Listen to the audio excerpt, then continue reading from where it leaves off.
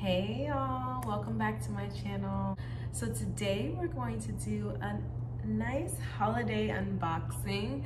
Um, I received a gift of some lovely shoes.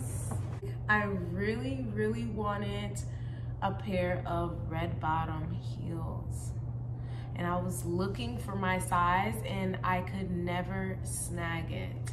And what do you know? I get an extra special gift for Christmas and it is the red bottoms that I was looking for.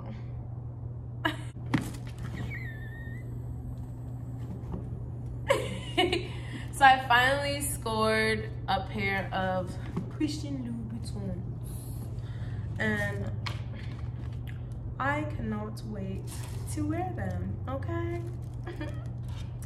Let's do this unboxing together because I want to just show you how beautiful and classy they are.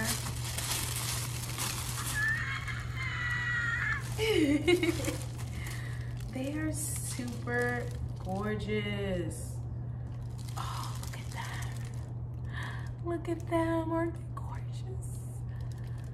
so pretty, so classy. So I ended up getting the Loubi Queen leather sandals in black. They also come in like a nude color and it's actually very gorgeous as well.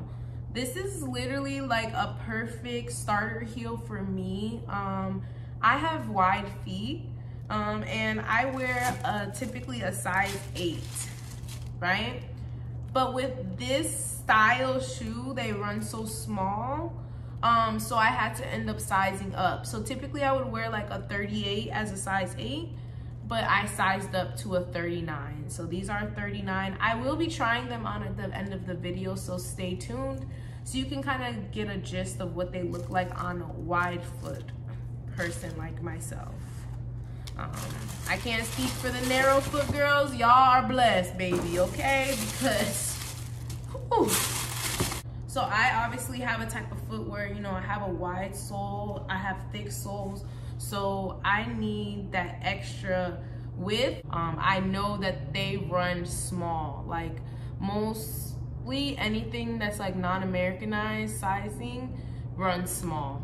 So yeah, um, for anybody else out there that may have wide feet, I would recommend going with these um, sandal style where it's like an open shoe um, if you get into, I hear a lot of girls have to like stretch the shoes that like the, you know, the, this, the closed toe heels.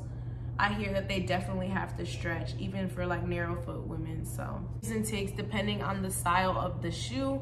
But I love these. Like I really, really love these. I can't wait to try them on. Let's put them on.